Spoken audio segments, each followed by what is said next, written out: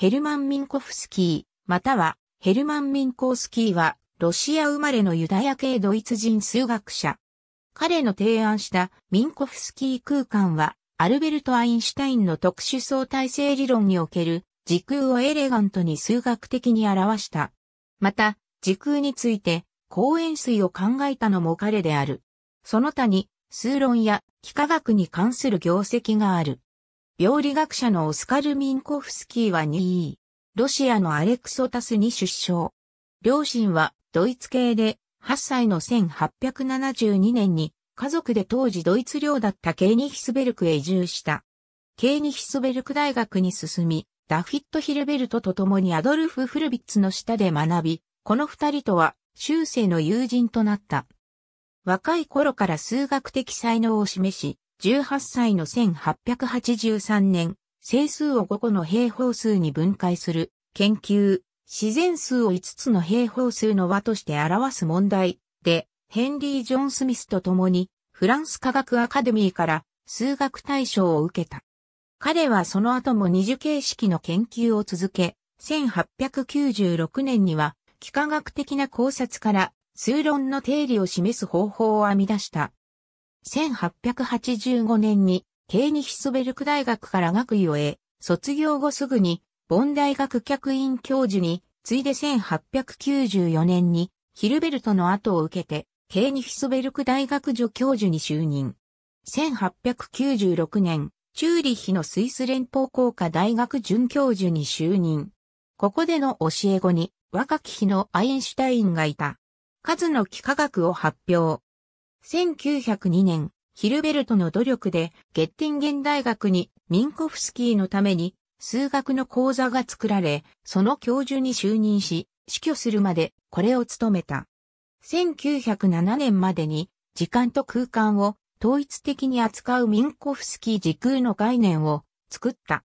1907年、ディオファントスキン持論、翌1908年、運動する物体の電磁過程論の基礎と題する論文を発表。1909年に中水炎によってゲッティンゲンで急死。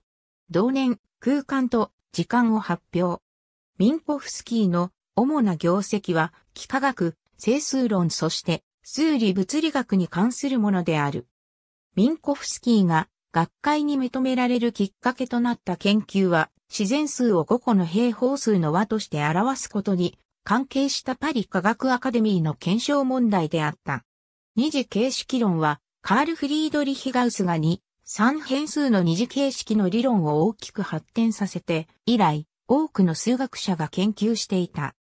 ミンコフスキーは、N 変数の二次形式について、自身がディオファントス近似と名付けた不等式を用い、格子と凸体という幾何学的概念を導入して研究した。そしていくつもの数論の定理を幾何学的に証明したり、新しい定理を得た。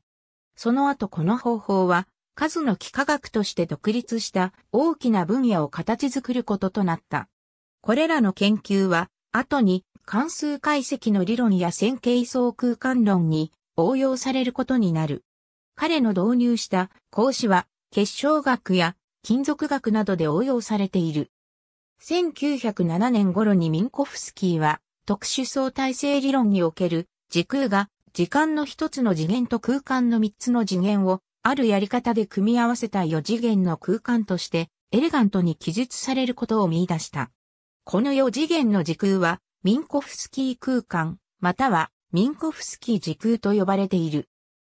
空間と時間に関し私がここで展開したいと思っている視点は、実験物理学の土壌から芽生えたものであり、その力強さを内に持っている。この視点は革新的なものであり、これからは空間それ自身であるとか時間それ自身であるとかいったような概念は影に過ぎないところへと消え去っていくことになる。そしてこの両者を合わせたもののみが独立した実在としてあり続けることになる。ヘルマン・ミンコフスキー、 Assembly of German, Natural Scientists Physicians、1908年9月21日。ありがとうございます。